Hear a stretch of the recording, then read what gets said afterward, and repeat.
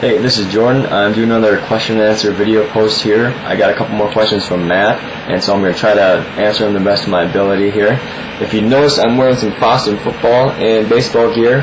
My brother coaches the baseball team and uh, helps out coaching the football team, so he sent me some gear, and I'm, uh, sporting up for the video here. First question that Matt had was on minimalist uh, shoes and kind of making that jump from a, a normal trainer to a more minimal shoe.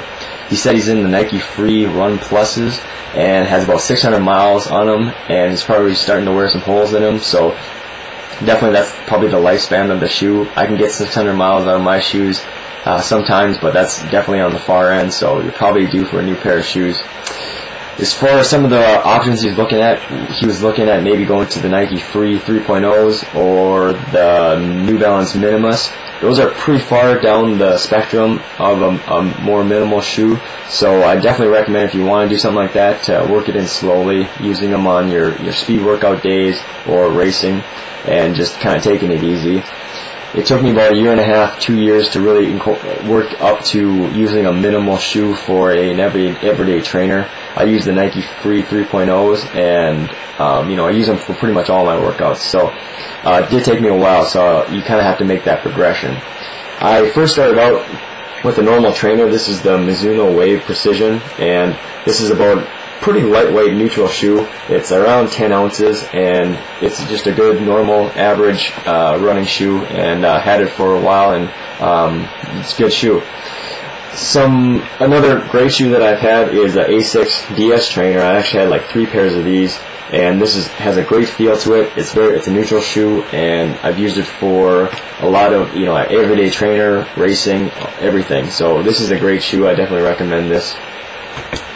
Even farther down, more on the minimal trail here, we have the Asics DS Racer, which is a lighter weight version of the DS Trainer, and this is a really nice shoe because it's again, very neutral, and it's not quite a racing flat, so you can get a fair amount of miles on it, but it is pretty minimal, and um, and it's a pretty lightweight fast, or a fast shoe. I think this is around 8 ounces. If you want to keep on going down the spectrum here, um, this is again what I use for my normal uh, trainer, and it's a Nike Free 3.0s. Here's the version 2 that I've had two pairs of these, and put about 600 miles each on them. And this is a great shoe. As you can see, it's really flexible. Um, that's to really take advantage of some of the, that barefoot running and uh, kind of that minimalist shoe qualities. And I think, again, this is a great shoe. Um, they just came out with the version 3 of the 3.0s, so this is the version 2, and this is the version 3. And there's some slight upgrades. Overall, they're about the same. The only big difference is the toe box on the version 3s is a little bigger than the version 2s. And as you can see, there's a, a mesh wrap that kind of goes on the top of the shoe for the version 3s, as well as a heel support and kind of a mesh heel portion there. I think that's great to kind of help keep your foot from wiggling back and forth in the shoe. They also have a, a different tongue, or, or not a tongue at all, I guess. It's just the laces, and your shoe just fits in the opening. Uh, the version 2 has just more of a traditional tongue that you would uh, lace up, and so not a big difference as far as feel goes. I, I just bought these again today, so I ran about five miles in them earlier today, and they felt great. They didn't really feel much different than the version 2s. Probably a little bit more stability as far as your foot wiggling around, so pretty much the same shoe, but some small upgrades, and I think they were um, beneficial upgrades. If you want to go even farther, down the uh, minimalist shoe trail here, we have uh, the, the New Balance Minimus, which is, again, a really minimal shoe and uh, very lightweight, not a whole lot of cushion support, but it's a really good shoe. Farther along, we have uh, racing flats, and I've actually started using these the last couple years um, or last year or so.